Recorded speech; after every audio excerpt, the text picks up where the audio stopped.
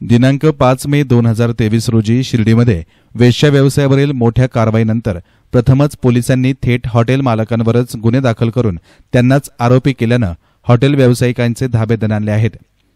यापूर्वी अशा कारवायांमध्ये हॉटेलचे चालक अथवा मॅनेजर यांच्यावर गुन्हा नोंदवला जात होता.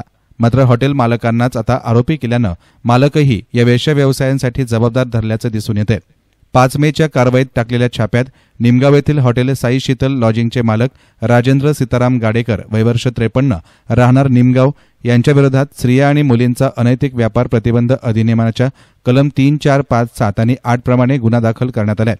यासह शिर्डीतील हॉटेल साई महाराजा लॉजिंगचे मालक राजेंद्र मनसुखलाल लोढा वयवर्ष साठ राहणार प्रसादनगर साई गणेश लॉजिंगचे मालक सुनील पृथ्वीराज लोढा वयवर्ष पन्नास राहणार शिर्डी. यांच्यावरही वरील अधिनियमांप्रमाणे गुन्हा दाखल करण्यात आलाय.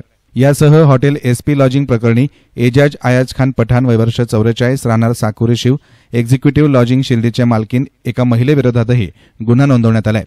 पोलीस निरीक्षक नंदकुमार दुधाळ यांनी याविषयी अधिक सांगितलं. शिर्डी शहरामध्ये मागील आठवड्यामध्ये काही हॉटेलवर वेश्या व्यवसाय चालतो. या तक्रारीवरून शिर्डी शहरातील सहा हॉटेल लॉजेसवर कारवाई करण्यात आली होती.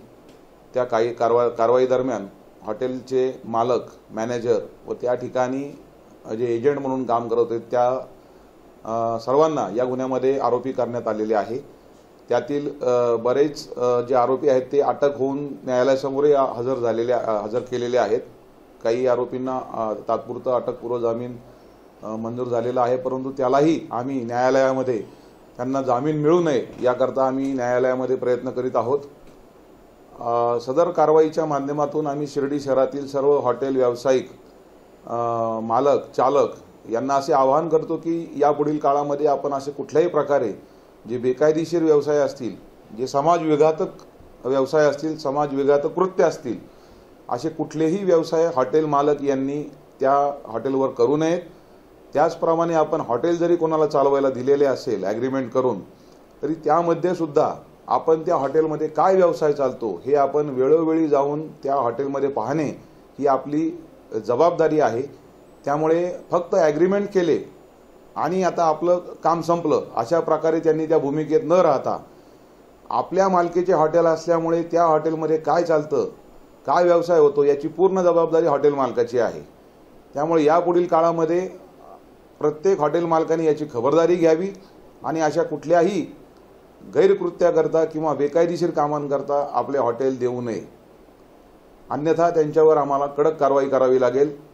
शिर्डी शहरातील नागरिकांनाही आम्ही आवाहन करतो की अशा प्रकारे जर कोणत्या हॉटेलवर असे बेकायदेशीरपणे काही गैरकृत्य किंवा बेकायदेशीर व्यवसाय केले जात असतील तर त्याची आपण त्वरित शिर्डी पोलिसांना माहिती द्यायची आहे. माहिती देणाऱ्याचे नाव हे गुप्त ठेवले जाईल. त्यामुळे नागरिकांनी आम्हाला जास्तीत जास्त सहकार्य करावे असे मी सर्वांना आवाहन करतो. यातील बहुतेक आरोपींना अटकही करण्यात आली असून काहींनी अटकपूर्व जामीन घेतल्यानं ते बाहेर आहेत.